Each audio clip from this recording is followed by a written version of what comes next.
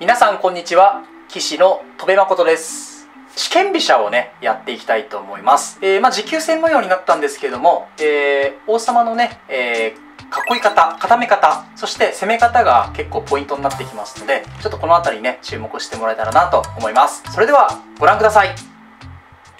お前が先手だ対局開始はいお願いします。えー、っと先手になりましたねえー、っとどうしましょうか。まずは角道をね、えー、開けていきましょう。えー、っとですねではうん試験飛車でいってみましょうかね。はい。試験飛車。あんまりあの僕普段指さないんですけれどもまあでもすごくこう人気がある戦法の一つですよね。はい。左から4番目に飛車振りましてでちゃんと、えー、飛車先伸ばされたら角上がるこれはまあどの振り飛車でもはい基本の形となるんですけれども、えー、角道上げてきましたので止めておきます。これはもう角道を、えー、止める昔からある試験飛車ですね。はい。でえー、っと左銀は1個上がっておきましょうか。まあ試験飛車って言っても近年は本当にねいろいろ形バリエーション増えてきましたよね。えー、まあ藤井システム居玉のままねやるとかね。あとは、えー、陽流試験飛車とかもありましたっけ？僕はちょっと王様まああの居玉でやるのちょっと自信がないんであの 美濃囲いにまずはね、えー、しっかりね、えー、囲ってやりたいと思います。まあ、振り飛車全般ね、えー、飛車を左側真ん中飛車の場合真ん中ですけどね左側に振ってそして、えー、まあ美濃囲いにまずしっかりこう収めてそれからあの相手の陣形を見てどのようにしていくかっていうのをね決めていくといいと思いますね。そしてまあ端歩は突かれたら、えー、受けましょう。居飛車対振り飛車の場合は端歩を突かれたタイミングでね受けるといいのかなと思います。おお角出てきましたね。これちょっと油断ならない手で場合によってはこれ5三角ってすぐね引かれてあの飛車先をどんどん攻めてくる可能性があるんですよ。だからこれ銀上がりたいんですけど角を引かれてしまう可能性がありますので銀をね上がっ一回上がりましょうね。これで、えー、角が引いてきたら、まあ、怖かったら向かい飛車で、えー、回って受ければいいですし金を上がって受けたりするのもありますのでこれで、えー、目をこい。片身のきましょうおっと銀が上がってきましたね。ちょっと面白い組み合わせですね。これは銀を引いて固めてこようということなんですかね。まあ試験飛車の形を生かして。はい。もうこれで本美濃囲いの完成ですこれ試験飛車のやっぱりいいところは左金をすぐにねこの本美濃囲いにくっつけて戦えるところがね非常に魅力的ですのでこれでねしっかりとした硬い囲いができました。えーとどうしましょうね。いろんなやり方がありますがよっしゃ高見の囲い行ってみましょうか。相手持久戦ですからね。えー、こちらもちょっとじゃあ囲いをバージョンアップさせていきましょうか。の歩をついてそして金を上がるとはいこれで高見の囲いですね。えー、まあ相手が持久戦の場合はこのようにねあの形を整えてえー美濃囲いを高美濃囲いにねバージョンアップさせるとかなり上部にね厚くなりますのでいいんじゃないかなとおすすめです。それでこれはどうなってるんですかね。これはちょっとねこれ飛車先をどんどん伸ばして攻めていきたいんですけれどもこれ銀がちょっと邪魔してるじゃないですか。なのでこの銀を下に引いてくっつけて使いたいと思います。これはダイヤモンドミノではないんですね。偽物の 偽物のダイヤモンドかな。これ名前ついてないんですかね。はい。これもなんかよく見る形ですよね。はい。これも非常にあの硬い形で。これね毛飛ぶかどうかいつも悩むんですよね。毛飛んでしまうとちょっと端が薄くなってしまう恐れがあって怖いのでえー、どうしましょう。これついて大丈夫かな？歩ついてつくとどうなんだろう。ちょっと危ないのかな？まあちょっとついてみましょうか。はい。同桂ですと桂馬が取れますので角が下がってくると思うんですけど。うーんどうなってんですかね。ちょっと王様のこの斜めのラインも開くのでっと怖いところではあるんですけれども、まあ、ちょっと思い切ってやってみたいと思います。これ下がってくるかな？結構これは相手もね王様が深くて硬いですので、えー、激戦になりそうですね。なかなかはい。なんかエルモ囲いとミレニアムがなんか合わさったような形になってますね。はい。ここまでは非常に低い陣形で。えーとどうしましょうかね。これ6五歩突いていきたいんですけどちょっと怖いですかね。うん。ちょっとじゃあテクニック使ってみましょうか。6五歩ってつくと8六歩から攻めてこられる可能性がありますので。うん。ちょっと1球ね5五歩と言ってみましょうか。これテクニックですね。1本5五歩と突き捨てて同歩と取ってきたらそこで6五歩と突くと。それによって5五角と出る手が、えー、なんだろう速くなっているっていうことですね。はい。これはちょっとした工夫になってるんじゃないかなと思います。まあ、8六歩とくればまあ同歩と取ってあ来ましたね。あ強い。うん。これはなかなか相手も手慣れ手慣れてますね、まあ、これ取るしかない。で怖いな斜めのライン。斜めのライン怖いですね。ちょっと斜めのラインだけは気をつけておきましょう。大手飛車とかありますからね。はい。なんでついちゃったんだろうな歩、まあ、しょうがなかったですけどね。ちょっと角を追うためにね。私もやっぱ攻めの棋風だからこの辺ついちゃうんですけどうーん受け重視の将棋の方だったらこういうことはあんまりしないのかもしれませんけどね。ただまあコンセプト、まあ、攻めっていうのはね一貫してますね。歩ついて角下がって5五歩。えー、同歩って取ってくれば6五歩とこうついてね5五角を急いでいこうという指し方ですね。あとあのー言い訳じゃないんですけど5五歩同歩ってついておけば結果論ですけど角のラインがね防げてるっていうメリットもあります。おなかなかですねこれ歩が何枚もぶつかってきて強いですね。これあの5四歩って取り込みたいんですけど角ヒュッとかわして王手してきますからね。これは同歩でしょう。同角とくるのかそれとも5五歩と戻すのか。5五歩と取ってくれば6五歩とついて角を攻め合いでさばきましょう。同角の時おーっと強い。筋ですね。本当にこれは相手の方はこれやっぱ成長期というかぐんぐん多分伸びてる方ですねこれね。これいい手じゃないですか下の横行き通してね。うん本筋ですね。で私もこれ感心してる場合じゃないですよ。取って同飛車は嫌なのでこの辺をついておきましょう。これで角とか出てくれば相手もすごいいい形ですからね。現状互角の将棋だと思います。うん強いですね相手もね。ただ相手がちょっとですねこの金ですね。小筋にいる金がこの辺までくっついてるとめちゃくちゃ強いんですけどちょっとこう離れていますよね。この時に戦いを起こせてるっていうのは、えー、振り飛車側からすると少しメリットになってるかなと思います。やっぱりこう4枚びっちりくっついてると怖いですので。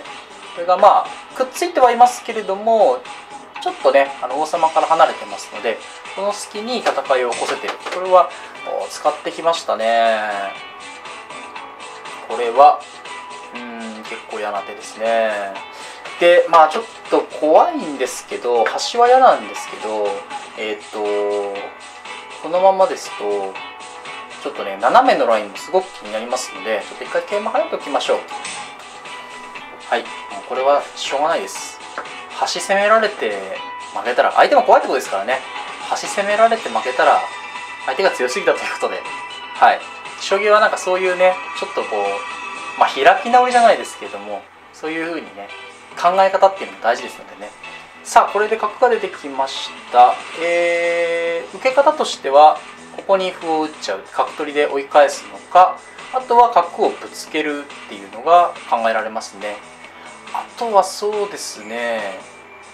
いやでもぶつけるかな。うんぶつけるとでも取って取っていやどうなってます？ぶつけてきますかね。筋はぶつけですね。取って取ってさばき合いっていうのがまあいってみましょうか。そうですね。こうやって大駒をぶつけてこれがねここが一瞬あの空いてるように見えるんですけれども角取りなので飛車走ってる暇がねないんですよね。で同角と取って同飛車となれば飛車が自動的に浮き飛車になって、えー、この飛車走りを受けるということでこれは一つパターンなので覚えておくといいと思いますね。はい。まあ駒をさばくさばくってよく話しますけれどもこうやって大駒をぶつけて、えー、交換してあげることによって、まあ、交換するとそのもらった駒が持ち駒として好きなところに使えますしあとはまあその交換した地点に飛車が行けばですね飛車が縦横結構働きが良くなるんですよね。まだ完全にはさばけてないんですけどもさばきやすくなったっていうことでいい形になったっていうことでね。飛車がこう走って成り込めたりするともうなんかさばけたなって感じるんですけどその一歩手前ぐらいまで来てるかなっていうところでこはまあ順調にいけてるんじゃないかなと思います。まあ、相手の方もね勝負どころというところで時間を使ってきてましてうんこの辺りは非常にお互いにね火は対話なりって言ったりしますけどね話し合ってるわけじゃないんですけどもお互いにこうちょうどいいね時間配分でねさせてるんじゃないかなと思います。あでもちょっと考えると飛車寄りとか考えてるんですかね。飛車を寄ってきたらこちらも角を取るのか飛車を寄るのかっていうのはえー、ね悩ましいところですね。このなんかダイヤモンドミノンのちょっと偽物バージョンみたいな囲い結構強いですね。高みのプラスあれ？おおそういうことですか。あなかなかこれ相手も面白いことしてきますね。へえこんな手あるんだ。これは飛車を取ると飛車を取ってこようということですよ。うーんちょっとギリギリのさばきですね。飛車取って飛車取る。あそれはちょっと馬がこう内側に来てますので私の角が外側に行って相手の角が内側に来てるのでそれはまずいですね。なのでこれは飛車を1個寄るか2個寄るかです。1個寄るのは桂取り。2個寄るのはここ飛車角を残してる。うーんどっちかな？どっちもありそうですね。うん。まあ2個いってみましょうか。ちょっと相手の形もね重くなりますからね。2個行って、えー、飛車が横に行けませんから縦に行くしかないんですけど8号飛車とか行ってきて非常に目まぐるしいというか面白い将棋になりましたね。本当に。なんか飛車角が飛び交っていてどっちがどう効いてるか。うん少しね私の方がねリードを奪ったかなっていう気がしますね。えー、ちょっとね飛車の前に角がいて詰まった形っていうのはこの形ちょっと怖い形なんですよね。これうまくさばければいいんですけどこのままですとなんか大駒がさばきにくいのでなので私はこう前進して取り込んでおきます。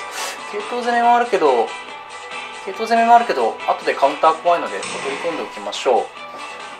5筋取り込みは大きい手です。で歩垂らしてきました。これは次に歩をなってくる可能性があるんですけど同桂でまだ大丈夫ですので自分は攻めます。桂頭を突いて攻めていくかあとはここが結構厳しいですかね。ここ。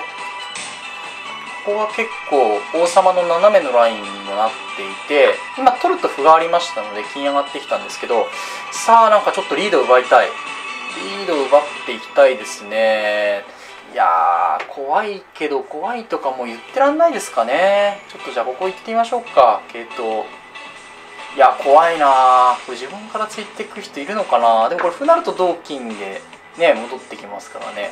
この辺の歩を突くのは取る。飛車通ってきちゃいますからね。まあ、これ行ってみましょうか。怖いけども怖いとか言ってらんないですね。戦いですね。はい。いや激しくなってきた。これで、えー、取ると桂馬を飛んできて一勝負ということですね。はい。同角は同角もありますね。お時間がなくなってきました。急ぎましょう。桂跳ねてきますね。あ叩いてきた。おお叩き合いだ。これはでも取らないと危ないですね。なるとなられちゃうんで王手先手になるんで取ります。なんかこれ叩き合いですね。うん。桂馬跳ねてきまして怖いですよ。えー、っとこれはあ怖いですね。同桂は同歩あちらもね相当陣形怖いはずなんですけどこちらもかなり傷んでますのでギリギリですね。えー、っと角でいきましょうか。2分30秒。そして桂馬なってきますね。これきっとね。桂馬なってきて、えー、同金も同銀もありますね。形よく同金なのか上に強く上に強く同銀でいきましょうはい。これね同金もありましたけど歩叩かれたりすると形がこう歪みますので同銀で。でこの場合上攻めたいので、えー、なんだこれは。歩怖いですね。でもこれ取るしかないですね。なんか技かけられちゃうかもしれませんけれどもこれ取るしかないです。ただまあ飛車の横利きも通ってきたあ角なってこようってことなんですね。角がなってきて結構怖いんですが嫌な形なんですが、えー、その瞬間にこちらも手番を生かしてなんか攻めていきたいですね。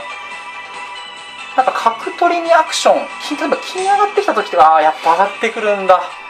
えー、これね角逃げるのも形はいいんですけど逃げるとなあでも歩切れか。歩切れなのか。でもちょっと時間がないのでこれも切っていきましょう。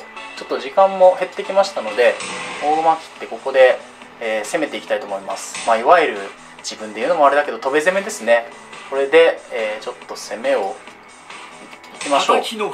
叩いてちょっと先手先手で押し込んでいきたいと思います。これで拠点がね歩が3つ並びましたんでどこに来てもその拠点に駒をね、えー、打っていって一手勝ちを目指そうということです。同金なら3三ここに銀を打ち込む。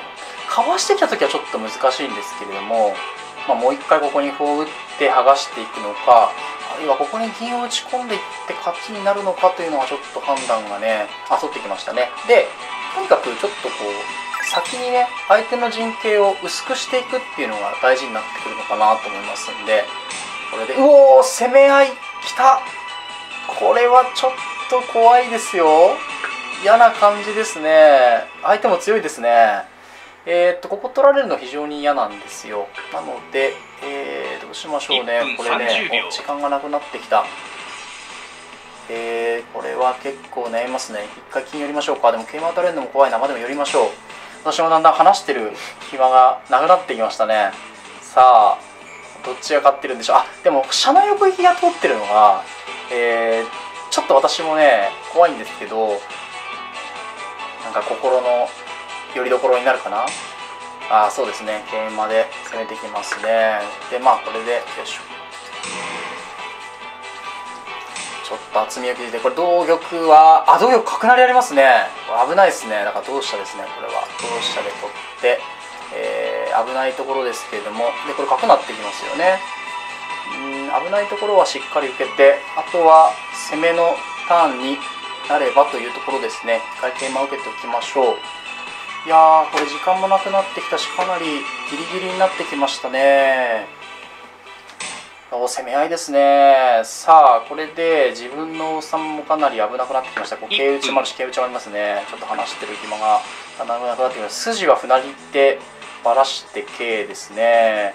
うーんと金打ち込みも結構やってみたい。金打ってみましょうか。いやー詰めろになっててほしい。どうかな？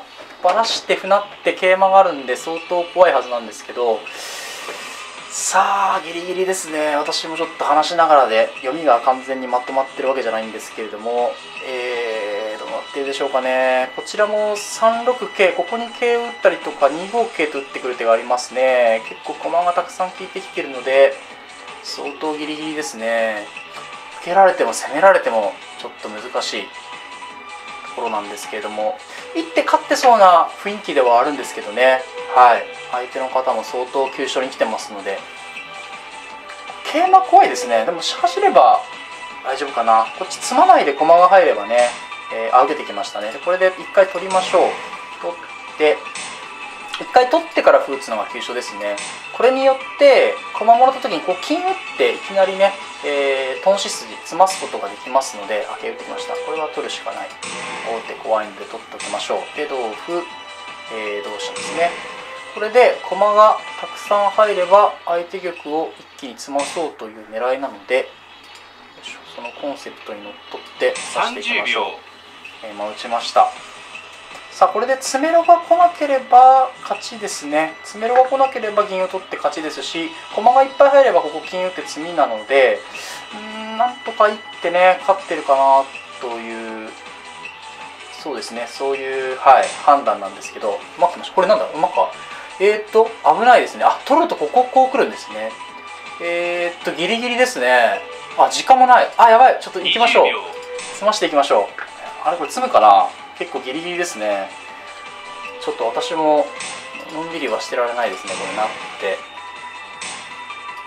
やばい。ギリギリですね。時間が時間がないぞ。えー、っと逃げると銀を取って詰みですから。あー詰みかな？今取った3三歩成がありましたね。いやギリギリですね。あでもこれ詰みかな？なんとか詰みましたかね。飛車が縦に通ってますから。いやーちょっとヒヤッとしましたけれども。なんとか最後は、車が通ってきてぴったり詰んでますかね。いや相手もこの猛追があってあでも時間がないからちょっとね喋ってるのがないんですけど。これで最後飛車が通ってきますので